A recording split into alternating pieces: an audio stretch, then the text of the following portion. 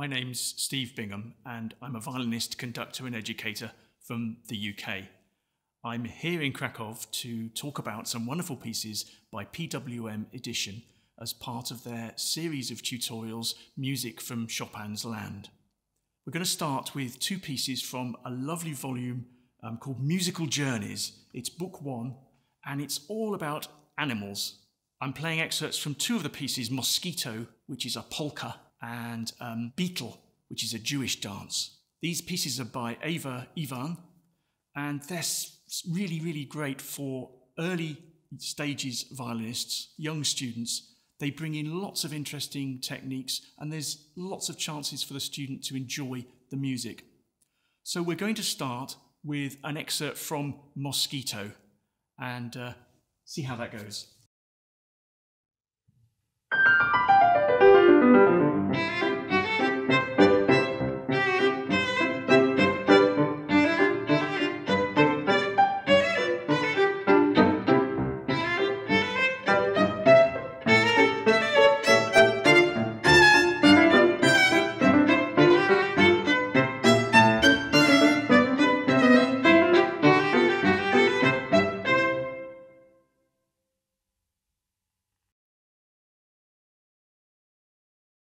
I had an encounter with Krakow mosquitoes last night that were biting me, so I know, I know what it's like. You have to have some bite in this piece. So the student needs to work on these short notes. It means getting into the string, pressure, and then release. Almost go for just a little noise at first when you're practicing this. And then add a little bit of length just to get those accents. This piece also uses, as does Beetle that I'm going to play in a minute, it uses some very good finger pattern work. So the difference between, even in the first bar of the violin part, an F natural, and then sliding that second finger forward to get an F sharp. So that shape, that movement of a finger is always the hardest one to learn. And this piece is great for just getting those different finger patterns and hand shapes. I'm going to move on to the Jewish dance called Beetle in the same volume. This volume has lovely illustrations of the, the animals in the pieces. It brings in various techniques. There are different time signatures, 6 8, and so on. There's lovely legato bowing. And it's mostly, most of the pieces concentrate on first position. The one I just played is just first position.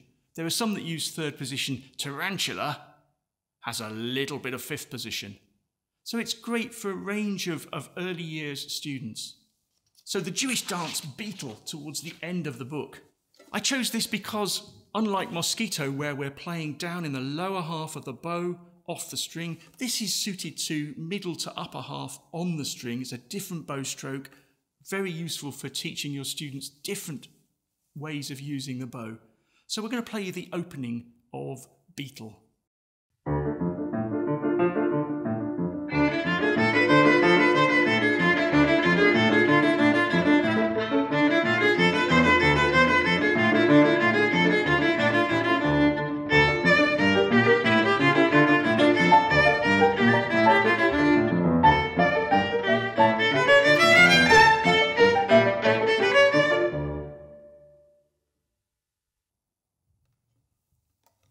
You'll hear that there's that very traditional Jewish feel to it with an augmented second.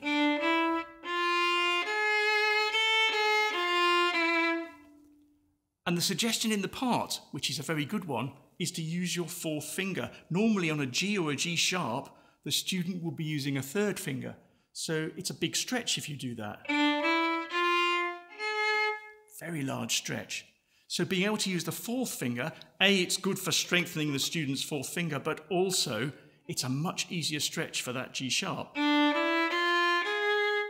So a great way of introducing the student to the fact that certain notes where they would normally expect to use a particular finger are always possible on a different finger. There were always alternatives, and that's a really useful lesson. This piece also has these different finger patterns. So, for instance, the scale here, first and second fingers forward, and then on the next string, first and second fingers back. So, again, that difference between forward and back by a semitone is a really useful thing. So, I love the pieces in this volume. They're fun to play, very enjoyable musically. And the, the Jewish dance, for instance, can be done at different speeds. So we played it reasonably relaxed. We have to be nice to our pianist at this point because there's more notes in the piano part than in the violin part. So look after your pianist. But we're going to try it a little faster. Yes. Good. Here we go.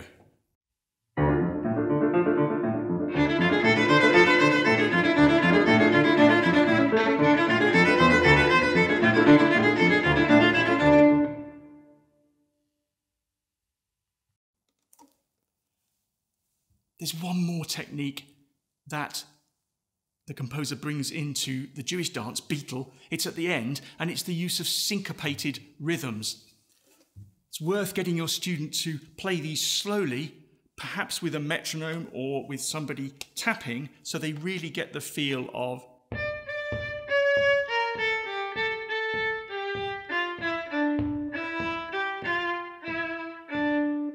Maybe even you can get the student to sniff on the rest.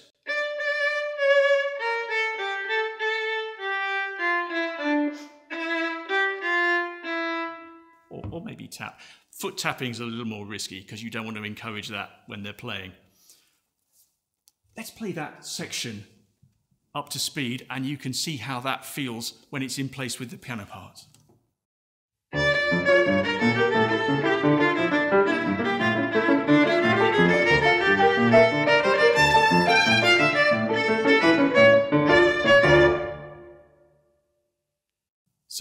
This entire volume of musical journeys by Iwan is just that. It's a wonderful set of explorations of different animals and their characteristics, written in a way that introduces lots of useful techniques for the younger student in a fun way, which I hope will be a very useful addition to every teacher's bookshelf.